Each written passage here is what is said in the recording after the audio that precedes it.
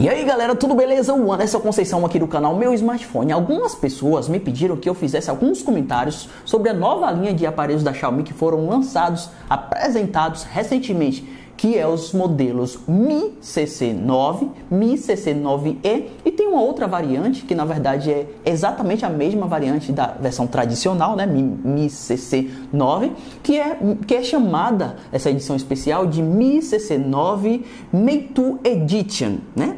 Um nome muito estranho. Ao que parece, muita gente está falando que esses aparelhos vai ser lançado globalmente com uma linha Mi A3, ou seja, esses modelos que eu acabei de falar vêm com o Android Pie modificado pela MIUI 10, só que eles vão ser lançados globalmente com, a Mi, com, com o Mi A3 com o Android One, ou seja, com o Android sem modificações, sem a MIUI. E a gente vai se aprofundar mais nos comentários sobre esses lançamentos. E então já vai largando seu like aí e vamos nessa.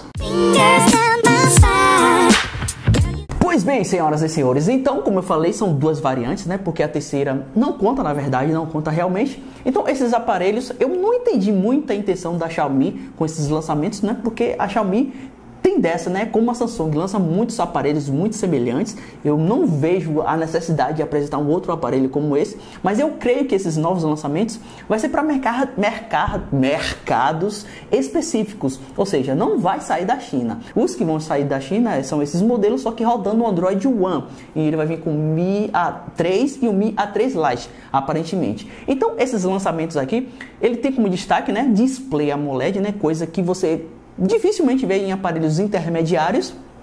E no caso desses modelos, inclusive, ele vem com display AMOLED, com sensor de impressões digitais, inclusive, né? Porque esses aparelhos que têm sensor de impressões digitais no display tem que vir com display OLED ou AMOLED.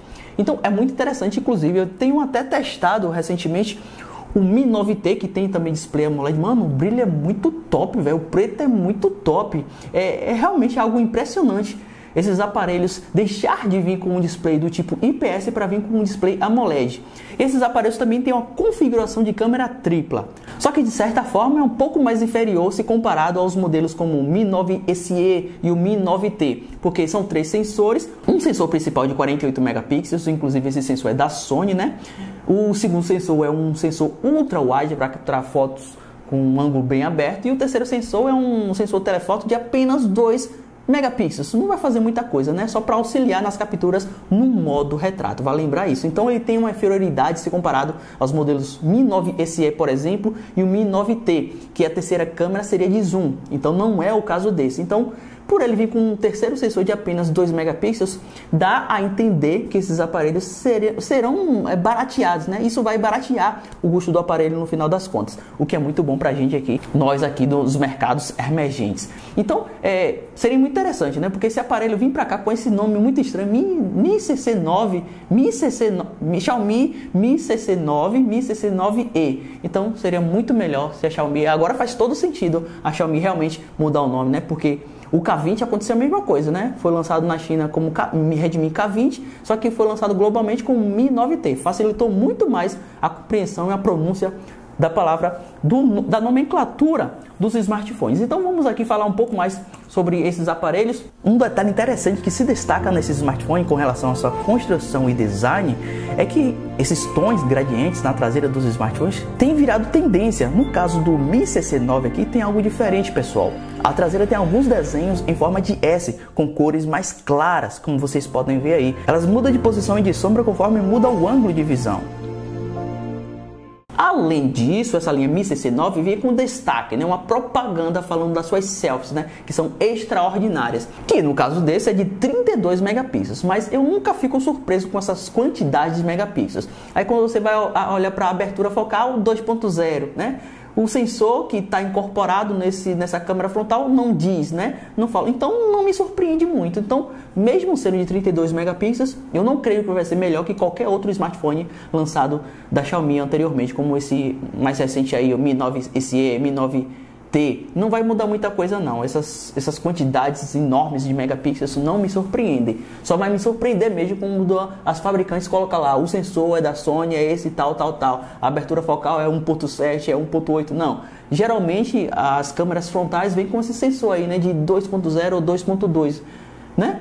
Então, quanto maior pior fica as selfies. Ainda assim, no anúncio desses aparelhos, a Xiaomi falou muito que esses aparelhos são bons para capturar selfies em baixa luminosidade. Mas, curiosamente, ela não colocou o modo noturno na câmera nativa através da câmera frontal, que eu acho que é algo que as fabricantes já tá na hora de começar a trabalhar, né? Todo mundo vendo aí o Gcam fazendo um excelente trabalho nas capturas noturnas, tanto na câmera frontal quanto na câmera principal é, as fabricantes é, correndo atrás do tempo para trazer, tentar trazer o modo noturno na câmera principal, mas na câmera frontal ninguém está fazendo nada, ninguém está mexendo os pauzinhos.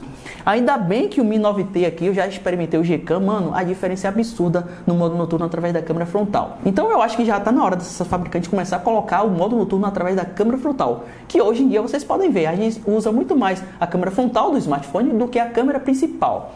Enfim, outra coisa que a gente pode falar sobre esses aparelhos. O principal ponto que diferencia o Mi CC9 do Mi CC9e é o chipset, ou seja, o Mi CC9 vem com o Snapdragon 710, enquanto o outro, o mais inferior, vem com o Snapdragon 665. Outra diferença nesses dois aparelhos está na resolução do display. Enquanto um vem com resolução Full HD, o outro vem com a resolução apenas HD+. Então tem essa diferença, mas ainda assim o, o aparelho mais econômico continua tendo o display do tipo AMOLED, o que é muito bom. Com relação ao custo desses aparelhos, ainda é muito cedo para a gente falar sobre isso, porque essa linha pode não vir para o mercado global e sim a linha Mi A3, né? Então possa ser que o preço não vai mudar muito dos antecessores, né? O Mi A2, o Mi A1, mas ainda é muito cedo para a gente falar sobre isso. Mas a gente vai voltar em um vídeo posterior falando sobre esses assuntos, caso tenha a oportunidade de pegar um desses modelos, agora que a gente tem uma loja parceira, né? Então vale a pena aguardar. Então vou ficando por aqui, pessoal. Esses são os meus comentários a respeito do Mi CC9 e o Mi CC9e.